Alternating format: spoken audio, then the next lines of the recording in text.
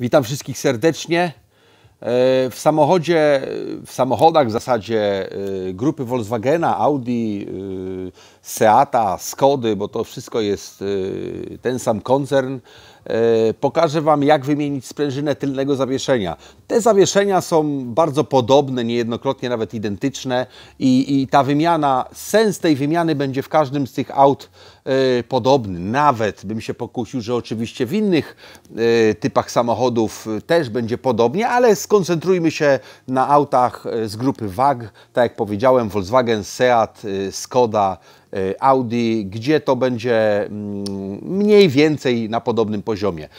Musicie wiedzieć, że sprężyna z tyłu, pomimo że ona pozornie wygląda na nienaprężoną, to ona zawsze ma naprężenie dosyć spore. To jest naprężenie, które jest w stanie dosłownie nawet zabić człowieka. Czyli podchodzimy do tematu wymiany sprężyny identycznie, jak podchodzimy do wymiany e, z przodu. Nie identycznie, jeżeli chodzi o samą robotę, ale identycznie, jeżeli chodzi o środki jakiejś ostrożności i o to, żeby tą sprężynę rozprężyć na tym zawieszeniu w sposób prawidłowy i właściwy. Z przodu jest trochę inaczej, dlatego że wyciągając całego MacPersona możemy tą robotę i robimy tą robotę na zewnątrz, gdzieś na jakimś stanowisku, już poza samochodem, no tutaj pracujemy w zasadzie na, e, na samochodzie, tak? No. I dlatego, że te, nie ma tutaj MacPersona, tylko jest taki element no, wahacza i bezpośrednio ta sprężyna styka się z nadwoziem samochodu, tak jak tutaj widać, ja celowo tutaj przeszedłem do, na tą stronę, ja tą sprężynę już mam wymienioną, z drugiej strony celowo jeszcze nie wymieniłem, tak jak tutaj widzicie, zaraz wszystko Wam powiem, jakie są procedury powoli no tak y, od A do Z, jak ja bym, to, do, do, jak ja bym do tego tematu podszedł. Y, tutaj już widzicie, tak jak powiedziałem, sprężynę mm, zamontowaną przeze mnie. Ona już jest napięta, ona jest ściśnięta i jakbyście podeszli do tego w ten sposób, ja tutaj widzicie, pracuję na podnośniku dwukolumnowym, jest mi dużo łatwiej y, z tego typu y, wymianą, tak, ale jest to możliwe do zrobienia y, bez tego podnośnika. Ja za chwilę podpowiem, może ktoś skorzysta, chociaż to mówię, trzeba być bardzo, bardzo ostrożnym, jak to zrobić posiadając inne narzędzia, aniżeli powiedzmy, no nie każdy w garażu ma podnośnik dwukolumnowy, tak? E, to też dotyczy tak naprawdę ta rozmowa wymiany wahacza, bo to są pochodne dwie rzeczy. Ja już nie skupiam się na wszystkich obok, bo to byśmy musieli zaraz prowadzić jakąś lekcję, jak tutaj ogarnąć tylne zawieszenie. Skupmy się na sprężynie i ewentualnie dolnym wahaczu, który tak naprawdę jest, tak jak powiedziałem, jest powiązany z tą sprężyną i, tak, i, i zasadniczo to musimy go prawie odkręcić, żeby, żeby pozbyć się sprężyny. Tylko, żeby wymienić sprężynę, no to musimy pozbyć się koła, żeby zrobić sobie dostęp i usunąć tą śrubę. Po usunięciu, usunięcie tej śruby spowoduje nam, tak jak widzicie tutaj na tym obrazku, ruch tego wahacza już ale to jeszcze zanim dojdziemy do tego ruchu, tak jak tutaj widzicie, no to tutaj musimy się pozbyć tej sprężyny. Nie odkręcamy nigdy w życiu tej śruby tak po prostu ad hoc na zasadzie partyzantki, że my, no mówię, odkręcamy, czekając aż ona nam tu wyskoczy, dlatego że spowodowanie rozprężenia, yy, odkręcenia tej śruby, pozbycie się tej śruby spowoduje wystrzał tej sprężyny i to może nas dosłownie, nie żartuję, nawet zabić. Nigdy w życiu tego nie róbcie. Teraz jeżeli chodzi o nowoczesne samochody posiadające reflektory z przodu ksenonowe, musicie wiedzieć, że albo na przedniej osi, na przednim wahaczu, albo na tylnym będziecie mieli czujnik poziomu E, poziomowania e, reflektorów, względem zawieszenia, względem ewentualnie obciążenia samochodu. Dlatego, że jak wsiądzie nam do samochodu 5 osób, plus zapakujemy jakieś walizki, wiadomo, że ten samochód nam się ugina na tylnej osi. W samochodach bez e, reflektorów ksenonowych mamy regulację, w każdym samochodzie mamy regulację świateł góra-dół, która jest gdzieś obok włącznika świateł. Jest to bardzo, bardzo przestrzegane, jeżeli chodzi o TIF samochodowy w Niemczech, tak Wam mogę powiedzieć, ciekawostek, dlatego że diagności bardzo zwracają uwagę właśnie na działanie e, tych op tego opuszczania reflektorów. Jeżeli ktoś, komuś to nie działa, albo jeden reflektor nie funkcjonuje, drugi funkcjonuje, natychmiast jest to wpisane do wymiany i jest na to kładziony nacisk. Gwarantuję Wam to, znam temat, także, także po, po, poza jakimiś innymi oczywiście usterkami, które sprawdzają e, diagności, wiedzą, że światła, opuszczanie ich w odpowiednim momencie jest bardzo ważnym elementem jakby bezpieczeństwa, żeby nie oślepiać kierowców jadących z naprzeciwka. U nas nie kładzie się może aż tak mocnego nacisku. Ja nie zwróciłem zwróciłem uwagi, żeby ktoś dosłownie sprawdzał yy, po, yy, regulację poziomu reflektorów. Mówię zupełnie poważnie. Ile razy bym nie był na przeglądzie, a przecież często jeżdżę, to sprawdza się stan yy, że tak powiem, e, reflektorów, jak one świecą, ale nie wiąże się tego z, z, z, regulacją wysokości. Jeżeli jakiś diagnosta to robi, no to chwała dla niego, znakiem tego, że, że wie, e, wie no jakby na czym to polega, tak? I wie, że to jest bardzo istotne. I teraz tak, jak mamy czujnik położenia właśnie naszego nadwozia względem E, względem świateł musi być ten, ten czujnik, dlatego że ten czujnik reguluje nam, w światłach xenonowych musicie, musicie wiedzieć, że nie ma ręcznej regulacji wysokości świecenia strumienia światła. Jest to wszystko regulowane już za pomocą e, no, elektroniki i ta elektronika jest przymocowana, ten czujnik jest przymocowany do nadwozia, która czyta, e, odpowiednie ugięcie nadwozia czyta nam no to w jakim miejscu mają być te reflektory. I teraz tak, tutaj akurat w Volkswagenie myślę, że w niejednym modelu, ten właśnie czujnik regulacji e, świateł jest przymocowany do, tylny, do tylnego, tak jak widzicie, ja tutaj mam światło, ale może to nie jest tak do końca fajnie widoczne, do tylnego wahacza. To działa następująco. Tutaj widzicie, jest takie ramię, tu jest ten czujnik, jest ramię, które jest na stałe przymocowane do wahacza i tak jak wahacz się rusza, tak, tak rusza nam się ten przegub cały i w odpowiednim e, jakby reaguje odpowiednio e, elektronika, regulując to światło. Musicie tego się pozbyć. Musicie bezwzględnie to odkręcić od wahacza. To jest klucz, to jest podstawa. Jeżeli macie ksenony, zwróćcie uwagę, gdzie jest przymocowany tenże czujnik. Dlatego, że jak wy się jego nie pozbędziecie, a zaczniecie rozkręcać procedurę wymiany sprężyny czy wahacza czy czegokolwiek, no, sprężyny szczególnie, a nie macie podnośnika, to jest nie do końca widoczne y, tak z takiego punktu powiedzmy, jak chcecie to lewarkami jakimiś wymieniać, czy, czy podnośnikami takimi mm, bez wchodzenia pod auto, jest to słabo widoczne. To będzie albo przykręcane, albo jakimś specjalnym takim uchwytem tu zamocowane. Musicie się tego pozbyć, musicie, musicie to rozpiąć po prostu, żeby był luźny wahacz, nie przymocowany do tegoż y, właśnie czujnika, tak jak wspomniałem. Kiedy mamy go luźnego, moi drodzy, no to musimy spowodować taki ruch. E, ja na podnośniku dwukolumnowym mam dużo, dużo łatwiejsze zadanie, dlatego że podnośnik sam wykona za mnie jakąś pracę, a ale musimy dokonać podparcia tego wahacza. My musimy zasymulować, nie mamy koła, tak? Nie mamy koła, wyobrażamy sobie, że już nie mamy tego koła, ale musimy spowodować tak, jakbyśmy mieli to koło, ale koło jakby było podparciem tutaj pod nie mówię, że tu macie koło podłożyć, pod, pod wahacz. Wy musicie spowodować, i ja teraz Wam zademonstruję, jak to wygląda.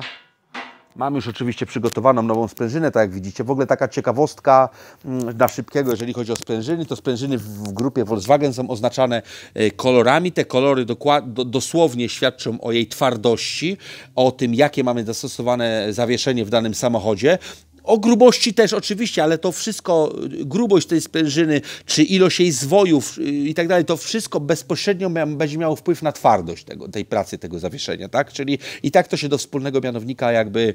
Mm, odnosi, bo może być sprężyna, która wygląda identycznie wizualnie, tak jak tu widzicie, drugą obok Wam, nawet bym mógł Wam pokazać, bo mam takie sprężyny, one wyglądają identycznie, ale już są inne kropki innego koloru. I to, są, i to oznacza to, że ta sprężyna może pracować w wersji sportowej zawieszenia, czyli być sztywniejsza, a inna jest bardziej uginająca się. I tak jak powiedziałem, one są identycznie wizualnie, jakbyście nawet wzięli suwmiarkę, to niczym się nie różnią, a czym się różnią? Różnią się materiałem, jakim, z jakiego zostało wykonane i jakby tym mm, odprężeniem tej stali, no już bezpośrednio, jak ona ma pracować pod obciążeniem, jak ma ta sprężyna być, mm, no reagować na, na jej ściśnięcie, tak? Dlatego te kropki, y, y, no między innymi w Volkswagenie oznaczają konkretny rodzaj zawieszenia, jakie zostało zastosowane do tego samochodu. Tutaj mam sprężynę firmy Zachs, która już jest bez kropek, teraz Zachs przeszedł na system naklejania tylko i wyłącznie naklejki. Dzisiaj się mocno zdziwiłem, bo sobie myślałem, że to jest podruba, ale zadzwoniłem do,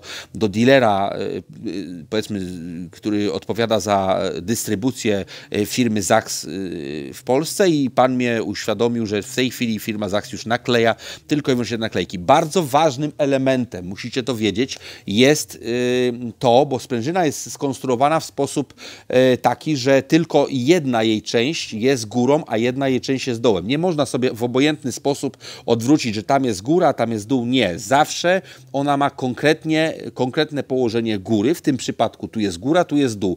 Tutaj na tej sprężynie widać na tej naklejce, nie wiem czy to, czy ostrość złapie. Złapało. Widzicie niewielka strzałka pokazująca top górę.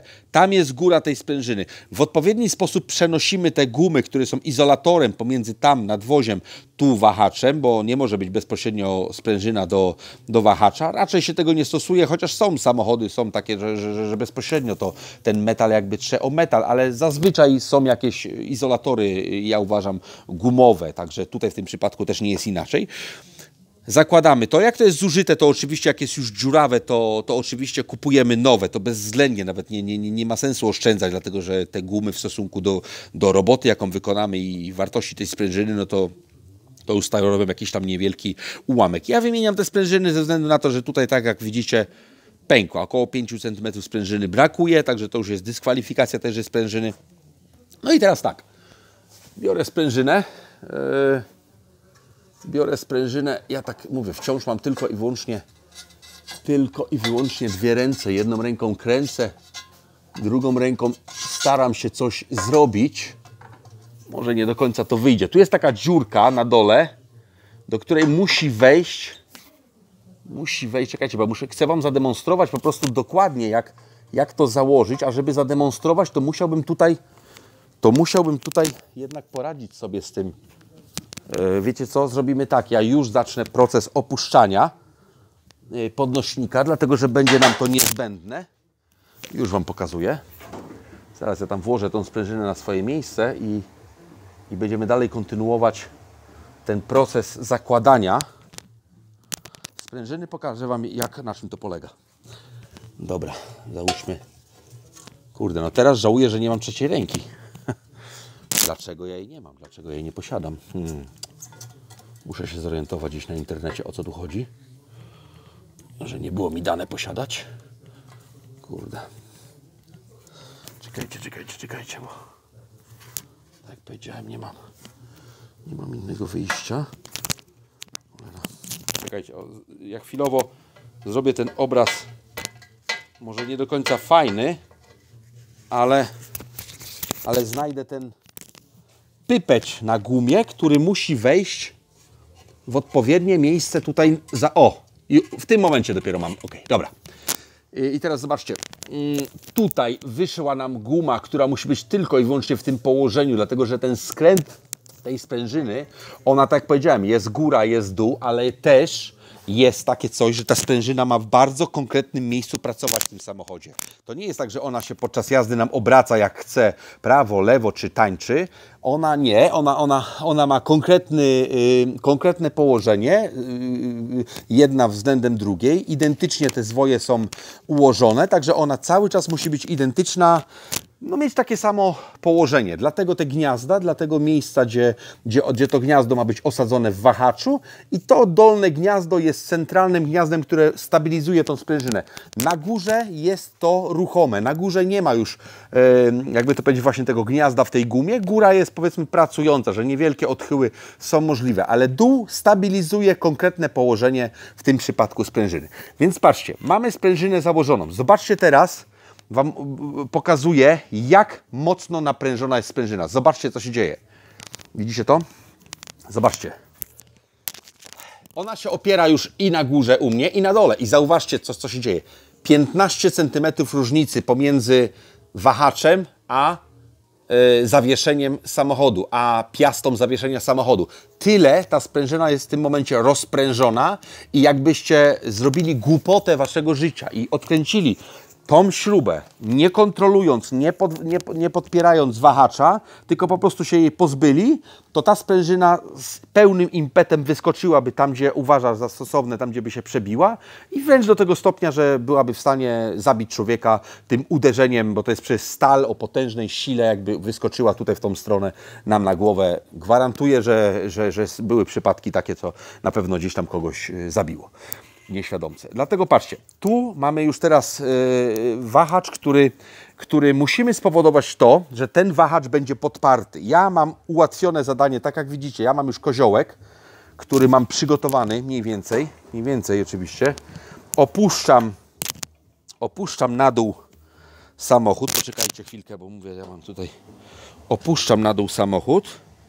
Patrzcie, co się dzieje. Widzicie? Dotknął wahacz koziołka. Ja nie widzę tego, tylko wy widzicie, dlatego że yy, telefon trzymam na dole. Ja nie widzę, co się dzieje, tylko poprzez, poprzez ekran. Dotknął wahacz koziołka i opuszczając bardziej samochód, ja powoduję, że ten wahacz przybliża mi się do wahacza. Idę teraz, nie do wahacza, przepraszam, do piasty mm, samochodu. Idę teraz, oczywiście, że zawsze by było lepiej, jakby były dwie osoby, tak, jedna tutaj kontroluje, druga opuszcza, ale ja jestem sam, sam to robię. O, dobra, mamy to, jeszcze 5 cm, ale z możliwością 5 cm, samo 5 cm nic tam nie da. Eee, ja powinienem to, ja powinienem to, czekajcie, może się uda? jeszcze teraz przy niewielkim, no niewielkim, już jest to naprężenie, ale o, przesunąłem nieco. O, powiem Wam szczerze, że teraz jest idealnie, czyli ten wahacz idealnie jest w stanie przyjąć piastę tutaj do środka. Czyli jak ja teraz nieznacznie obniżę ten samochód, zauważcie, no to okaże się, że piasta wejdzie już w, w, tą, w gniazdo wahacza. I wówczas bez problemu tutaj włożymy, yy, włożymy śrubę, tak? W, w wahacz prze, na wylot yy, z piastą. Ja Wam pokazuję teraz, jak to ja robię na podnośniku, ale przecież wiadomo, że podnośnik to mają raczej profesjonalni mechanicy. Co zrobić, kiedy chcemy to zrobić we własnych takich warunkach garażowych? Już Wam powiem. Podnosimy samochód bezpiecznie, tutaj gdzie mamy E, gdzie mamy koło, gdzie chcemy obsłużyć wymianę sprężyny. Podnosimy karoserię w miejscu do tego e, przeznaczonym. E, podpieramy ten samochód jakimś bezpiecznym koziołkiem, nie zostawiamy go na, na powiedzmy lewarku. Tak? Jest podparty koziołkiem, nawet w dwóch miejscach, nic się nie stanie.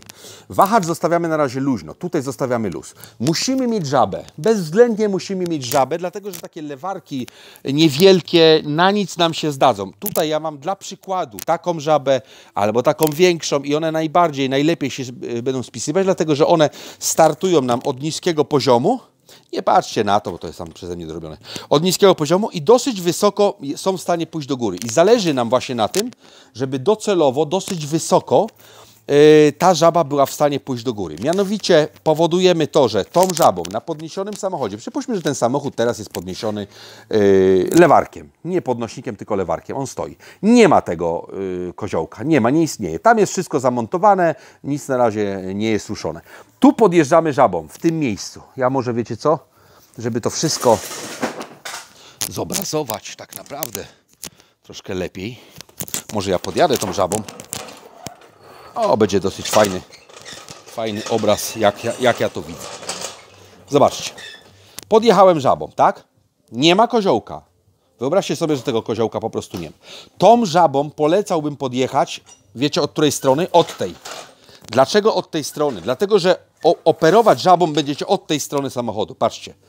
Przy, akurat w tym konkretnie przypadku, po tej stronie, tu będziemy operować.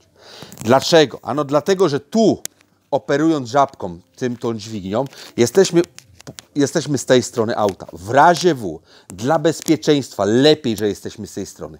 Dlatego, że bardziej to zawieszenie jest tak zabudowane, że po tej stronie jest zabezpieczone, że ta sprężyna nie ma za bardzo szans nam tu odskoczyć, a tu zobaczcie, co się dzieje. Patrzcie, co by było, jak ja bym tutaj stał i ta sprężyna chciała wyskoczyć i, i chciałaby znaleźć jakieś ujście. Bez żadnego problemu ona tutaj jest w stanie wyskoczyć. Dlatego ja bym polecał robić to od tej strony. I teraz tak, podnosząc tą żabkę, widzicie, podnosi się, podnosimy ją, podpierając tu, tak jak ja tu mam na koziołku, w tym miejscu wahacz. Czyli my powodujemy to, że jak ta żabka będzie się podnosiła do góry, również do góry powinien podnieść nam się wahacz. Niech on nam się podniesie nawet 1 cm do góry. Wystarczy. My mamy e, udowodnić, tylko sprawdzić to, że ta sprężyna jest wciąż w ugięciu, czyli jak wahacz nam na, na samochodzie, na lewarku, pójdzie centymetr do góry, nieznacznie pójdzie do góry, za pomocą tej żaby, to znaczy, że sprężyna jest y, zwyczajnie napięta. Rozkręcamy wtedy tą śrubę, która tutaj wciąż jest, tak? Wykręcamy, wyciągamy tą śrubę. Nie ma, nie, już jest to wszystko wolne. Wolne, tutaj tej śruby nie ma. Później bardzo powoli odpuszczamy żabkę w dół.